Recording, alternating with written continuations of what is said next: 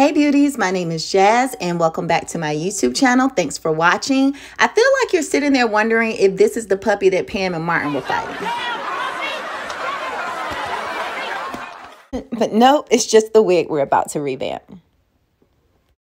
To start off, I'm going to be giving this wig sort of a bleach bath. As you can see, I'm using my Joico Blonde Life Powder and I'm going to be using a 40 developer. So if you don't know what a bleach bath is, basically it's a process to lift the hair without the harshness of actually just applying the bleach straight to the hair.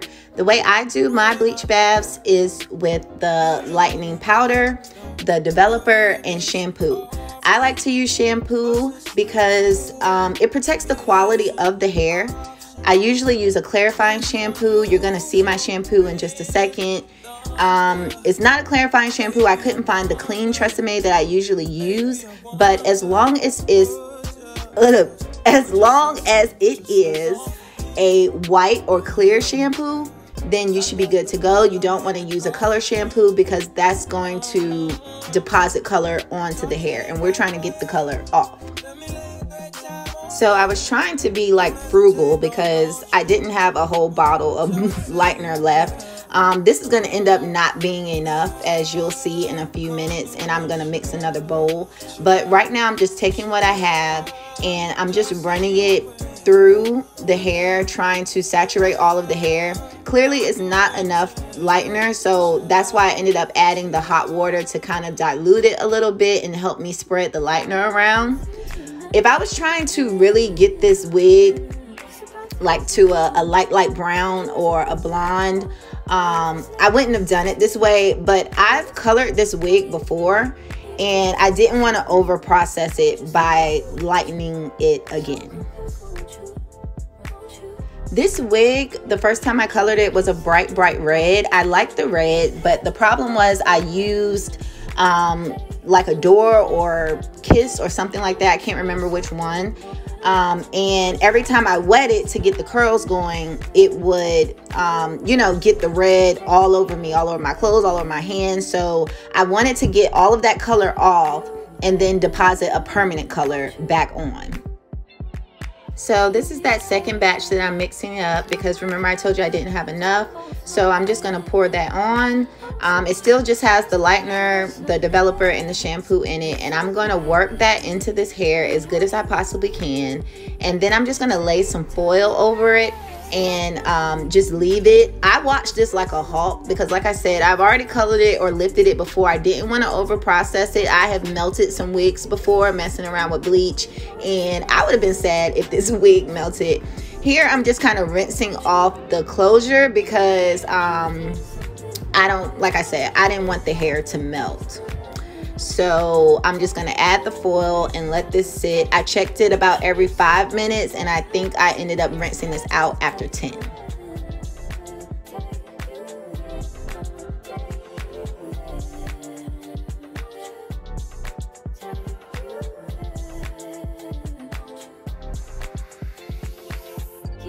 So here I am, I'm back to rinse off the wig. I feel like a good amount of that red came off. Um, you can't even really see how red it was on camera, it seems like, but um, it was like a dark maroon color and now you can see that it's, it's just brown and that's how I wanted it to be. I got nervous because the ends were looking a little scraggly after this process, but I ended up um, using Silicon Mix. It's, that's a wonderful conditioner. If you color wigs, you should definitely get some. I ended up just letting it sit in the Silicon Mix overnight in a plastic bag, and then I rinsed it out and let it dry. And the ends were kind of good as new, but it really didn't matter to me because I knew I was going to be doing some cutting to this wig as well. So here's the wig after it air dried and I'm just fluffing it out so you can see the color. And like I said, it just turned a light brown, but that's fine because the color that we're gonna be using is actually a high lift color. And I'm gonna use it with a 40 developer. And here it is, it's the L'Oreal HiColor HiLights. And oop, I lied, I used 30 developer. and um, I'm just gonna mix those up I used the red in the red hot. This was the back. I did the back off camera because I knew I didn't have enough to finish and I was gonna have to finish the next day. I thought that it turned out kind of dark. So when I proceeded to the top half, I only used a little bit of the red hot, which was the darker color, and the rest I just did all red. So it could be a little bit more vibrant. I wanted it to be super vibrant, but I didn't want to end up looking like Ronald McDonald. So I just went ahead with the red. I figured if it was too bright, I could go back and tone it down. But I didn't want to, you know, do it too dark because that's harder work to make something lighter. And I've already done that. So um, I went with the red. I ended up liking how it turned out. And I only proceeded with like a quarter of a tube of that red hot just to tone it down a little bit.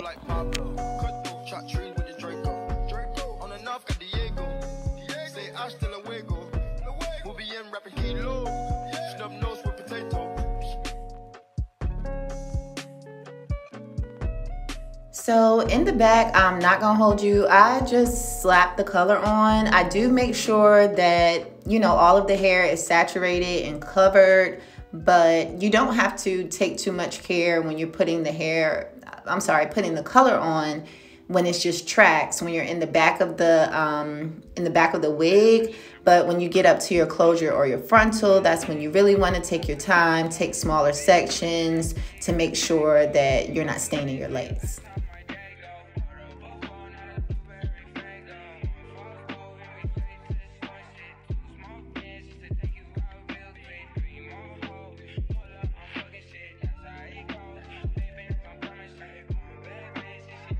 So now I've worked my way up to the closure. As I mentioned before, I'm switching over to very small sections. And when I'm up by the roots, I'm being very, very careful to not get any of the red dye on the lace. Um, I probably could get it off, but it would be hell, especially with red. So um, it's easier to just try not to make any mistakes than to go back and fix them. So just be extra, extra careful when you're applying color on lace. I see a lot, you can even use a comb. I see some people use a comb. I've tried that. It doesn't work the best for me. Um, but yeah, be careful with color near your lace.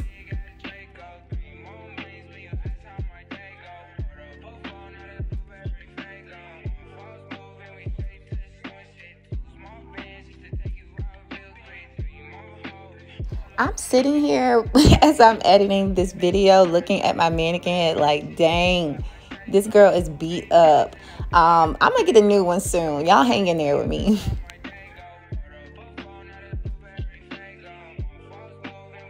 Once I got all of the color on, um, I kind of clipped up the hair and put it all into a grocery bag. I basically put a grocery bag over this mannequin head like a shower cap with the hair inside and I set it underneath the dryer for about 20 minutes to help process the color.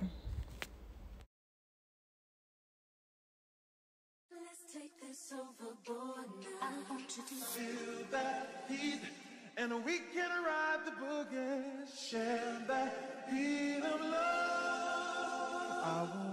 so I didn't know if this video was getting too long, so I figured I would put the install in my next video. So haha, you gotta come back and watch if you wanna see how I wand curled it and installed this wig. And as always, thank you for watching. Please tell a friend to subscribe to my channel. I'm almost to a thousand subscribers. Thank you to everyone who has subscribed already. I really, really appreciate it. And thank you guys so much for watching. Like and comment.